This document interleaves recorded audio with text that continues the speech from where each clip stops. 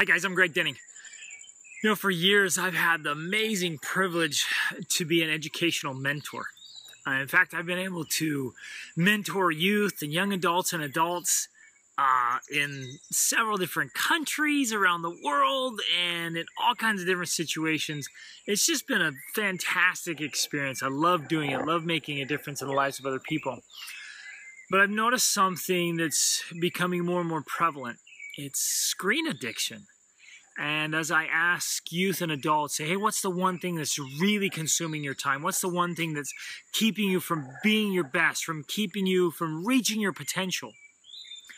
And almost every time they say it's a phone or a video game or some kind of screen. And it's starting to take control, right? It's being like a, it's taking over our lives like a slave, like a slave owner. And so, you know, there's a hard balance there, right? Because I'm making this video, I'm posting on YouTube and on my on my website, gregdenning.com, and I hope people watch it. And I teach classes online, and I message parents and students and clients in Facebook and you know we use all those things and send emails and there's so many great things to learn and so many great educational resources that even my own children are using online. And so there's a tough balance. So i wanted to try to help you help your children break their screen addiction. And if you've got one too if you're guilty help you break yours as well.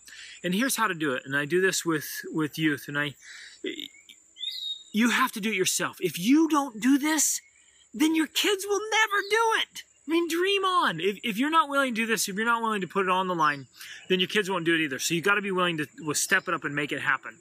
Well, here's one of the big things you do. You got to have a big dream. You got to have a big goal, a big vision, something great you want to work on, right? And it's got to be big. And so I want you to take uh, a time right now and and say, pick a one year period. Let's do one year. That, that's simple. And say the next year, what kind of things do you want to do? You want to read a book a week, or if you want to really go after it, read two books a week.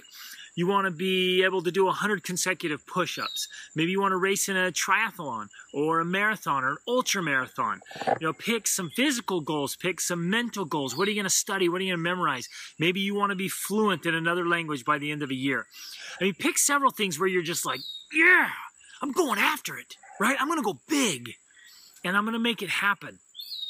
And it's going to require a lot of time, a lot of attention, and a lot of focus. And make it big and exciting. Maybe it's to travel somewhere. Maybe it's to climb Mount Fuji or Kilimanjaro, or or to go, you know, explore Italy or whatever. You know, just pick a great place and something cool you want to do in a, in a, big adventure, something that really excites you. Like you get out of bed in the morning and you can't think about anything else because you want to do this so bad find that thing that just lights your fire. Okay. And you're like, wait a minute, I thought this was for my youth or my kid, right? It is. We're getting there. But you have to do it first. Okay. Because if you just go into your kid right now and you're like, hey, stop spending so much time on your phone, how's that going to go over? Right? Or, or give me your phone. Or I'm, I'm, we got to sit down, son, and have a talk. You really need to limit the time on your phone. That's not going to work it's uh, it's replacement, right? You you got to give them something bigger, something better. Give them a vision, a purpose, a plan.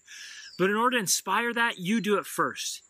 And so your conversation might go like this. You might walk in one night, you're like, man, guys, I am so excited. And it's got to be sincere. It's got to be genuine. And you go in and you're just like, yeah, man, I'm so excited. I just, I, I, got pumped. I watched this video. I got excited about it. And here's my list of the things I want to accomplish within one year from now. And they got to be big and they got to stretch and, and, be real about it and get excited about it and say these are the things i'm going to do and and here's what i have to do. I've got to make some serious sacrifices. And so i realized i can't waste time. If i really want to hit these goals i can't be wasting any time. And then once you've done that like they they got a, a vision of of you know your excitement and hopefully you're doing it effectively and sharing your excitement. They're like that's so cool. And you tell them like yeah I, i'm not to waste any time. Will you help me Will you help me not waste time, not to, to get distracted, to really keep working on this? And then just say, hey, what's something you want to work on? What's something big? And be willing to sacrifice. Be willing to throw down some money for their project, for their goal. Be willing to put some time into it, them. You know, get involved and say, what's something great you want to do?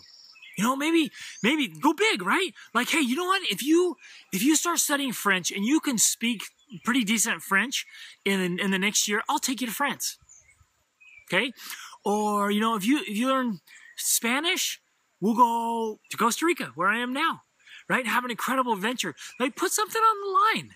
Say, you know, you wanna you wanna get in incredible shape, you wanna spend a ton of time exercising, I'll pay for us to fly in and do some amazing triathlon somewhere or some some race somewhere in the world. Maybe we'll go do a half marathon on the Great Wall of China.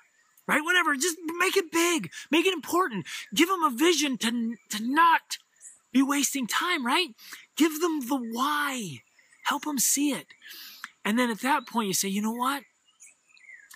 This is where you've got to discipline yourself and say, you know, I want you to do this. You, you do it.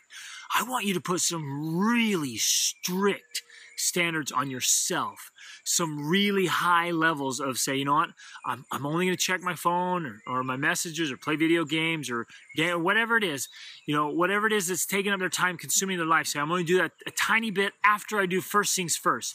And I'm really going to limit myself and got to have some downtime even as, as many great things there are on, on all the screens we've got in our lives, we really have got to have some disconnected time. You know, I love technology, and as much as it's helped me connect with people around the world, there's a real danger that you disconnect with people in your own home and you disconnect from your purpose and your passion and doing great things. We can't just go through life eh, just spending all our times on our phones and on our gadgets. I mean, it just kills me. It, it literally hurts me when I see um, you know, people, couples that are just each on their phone or in a restaurant or an airplane and family, they're not even communicating because they're on those things. So get excited yourself. Set a standard for yourself. Get your child to get excited about uh, a, a, purpose, a, a mission, a, a dream, and get so into it, so excited about it that they are willing to pay a price, willing to put in the discipline and the time and step away from it. I promise it's going to be amazing. You'll accomplish great things, have great experiences, and they'll choose themselves to step away from the screens so they can get out and have greater experiences. Reach upward.